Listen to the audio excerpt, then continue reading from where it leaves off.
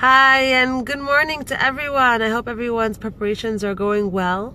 I was asked by a few people to maybe put up some clips uh, for while people are preparing and cleaning that they should be listening to some stuff. So, um, and I've also noticed that people are having a harder time this year than usual. Maybe I'm noticing that because my I'm getting older and people that I'm uh, my, the friends that I'm friends with are the mommies. So they're the ones that are actually doing the, the hard work. Um, and I'm noticing that it's harder for people this year than usual. Uh, people are talking about not being able to really a- a- attack it and approach it so much because there's so much to do and there's so little time, and um, people are very overwhelmed. People are working till very much last minute. So, um, in life in general, anytime you attach any kind of meaning and purpose to whatever it is that you're doing, then it takes on new, a new life. And that's very, very important because it's important to know what we're doing and why we're doing things. And it's important to know what the spiritual effects of what our actions are doing, how they're affecting really our lives and how it's affecting our, our neshamos, it's affecting our children, it's affecting our actual homes, the walls in our homes. So let's, let's learn a little bit about what we're actually doing while we're cleaning, what we're supposed to be having in mind and what it is that we're uprooting while we're doing it. So, um, a few things. Um, First of all, I have a newsletter that I wrote on Pesach that is going to encompass everything I'm about to say right now and a lot more than what I'm about to say here. So if anybody wants it, I'm going to attach it. Just I'm just going to put the link on, underneath this message so you know that it's available to you to read.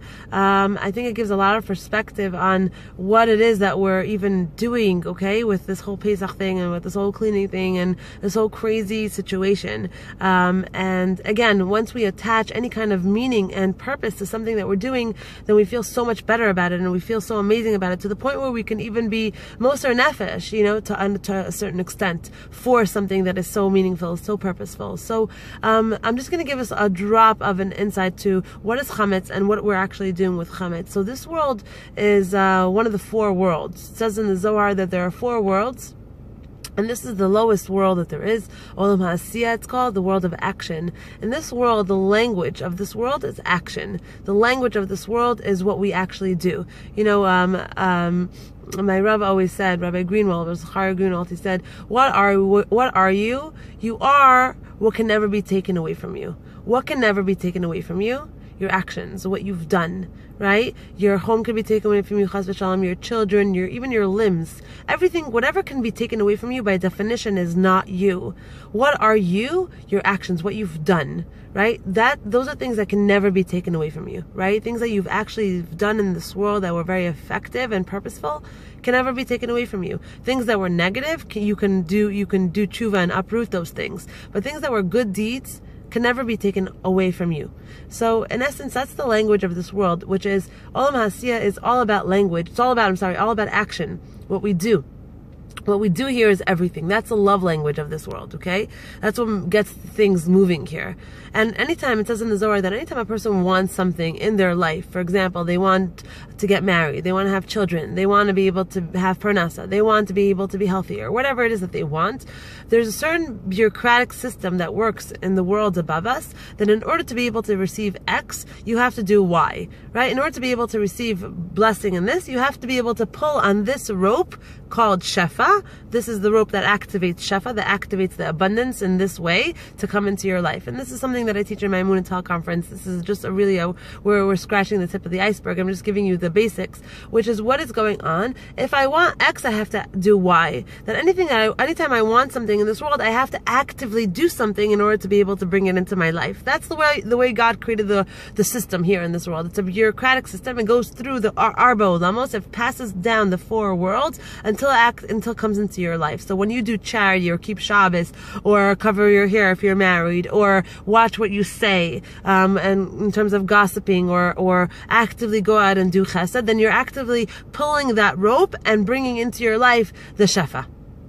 Okay, so the abundance of something that you that you really want. That's how God created the world. What it's not nice, and I'm doing things in order to be able to do, get things to come to my life, but that's just the way Hashem created the system, right? That's the way He wants things to be set up, um, and that's the whole purpose of mitzvahs. Now, when we're cleaning and scrubbing and boiling and covering and hagalaing and all the things that we're doing, you have to know that in essence, what you're doing there is you're you're doing a physical pu'ula because Hashem doesn't really care about how spick and span your house is or if your counters are covered and your walls are covered. That's not really what's going on, right? What's going on here is this, this complete disattachment from chametz, this complete annulment of chametz in my life. Now we have to understand two things: what is all the action about, and number two, why is chametz so terrible, and why am I trying to get rid of it? So, what is all the action about? We're actively doing something here that is actively pulling something in Shemaim that we never pull all year round. We are pulling on a rope. We are pulling on, on a mitzvah that we're doing here that only comes around once a year.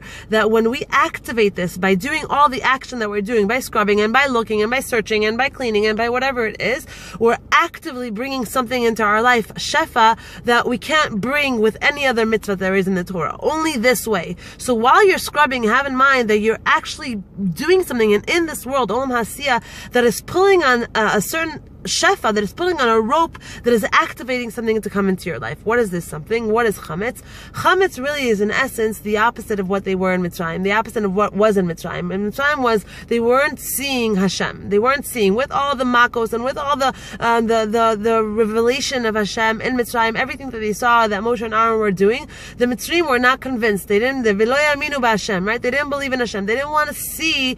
Well, they didn't want to see. They closed their eyes. They turned blind. They were in denial, right? And that was something that we have a choice to do in our life all the time. We always have the choice to be either to see or to be in denial of the truth. Either to see God's hand in our life or to be in denial of the truth. Now that's emuna. what is emuna? Is emuna is to be able to see Hashem in our life with everything. To know the good and the hard is all Hashem, right? The good and the hard is all Hashem. Just like I don't complain about having a baby and buying my house and being able to feed my children and myself and having money to spend on things that I like and having a roof over my head and being healthy every single day I wake up in the morning, just as I don't complain about that and just as I don't question that, it's the same God, it's the same source that gives me the hardships in my life. It all it comes all comes from the same place. Why? Because this and this is all for my goodness. This and this is all for my well-being. This and this is all to bring the potential out of me in this world. I'm only here for a short amount of time. Hashem has a lot to do with us over the course of the time that we're here. And all of it is all here to bring the good out of us. That's why we have to have emuna. What's emuna?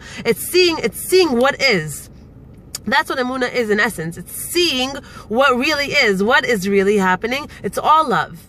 The good and the hard is all love. Just as I don't question the good, I can't question the hard because it's all come from that same loving source. And that is what chametz is. Chametz is getting rid, chametz really means all the distractions in our life from the thing that is the source of all goodness, from the thing that wants us to connect to Him, from the thing that is guiding us in our life towards where we have to be and towards where we have to go. That Hashem, that He's that the interaction that He has with us. Chametz is all the stuff in our life that distracts that distracts us from that. What is paro? Paro is hafraot, distractions. That's a lashon. That's where it comes from. Hafraot, distractions. Everything that distracts us from God, from goodness, from Torah, from mitzvos. All those things are considered chametz. Are the crumbs in our life that take us away from the truth, take us away from reality. And that's what we're doing this this this this week of cleaning and uprooting and, and eradicating. That's what we're doing and pouring bleach on everything. We're saying to ourselves, saying to Hashem, I'm getting rid of all the distractions in my life. I'm getting rid of all the lack of emuna in my life. I'm getting rid of all the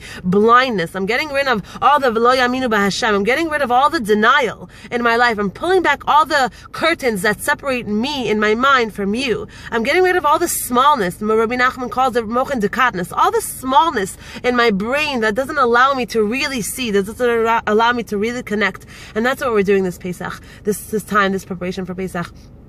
I hope you'll have a beautiful Pesach, and I hope this is our last Pesach in, in Galus, and hopefully this Pesach should be the Geula. This Pesach, this it says that Nisan is the month of, it is the Rosh Hashanah of Emuna. It is the Rosh Hashanah of connection. It is the Rosh Hashanah where we can, if we have the right things going through our heads, and we understand what we're doing, and we understand what's going on here, we'll be able to really connect to the Emuna. It's the Rosh Hashanah, it's the core, it's the nucleus of Emuna. This is our time to really jump in there and sip in, sip up, really to just take it in the emuna that is the truth of really what we're doing here on this world, on this planet, really what's happening here, really what our purpose is here, really what is the truth in everything, in all of our lives, in actions, and in all of what's going on, in the difficulty, in the hardships, in the goodness, in the happiness, in everything. Should be a beautiful Pesach for everyone. Should be a month of Geula, of our personal redemption, of our of our national redemption, to be a redemption for the entire world, Kulo. Thank you so much, and thank you for watching. Take care.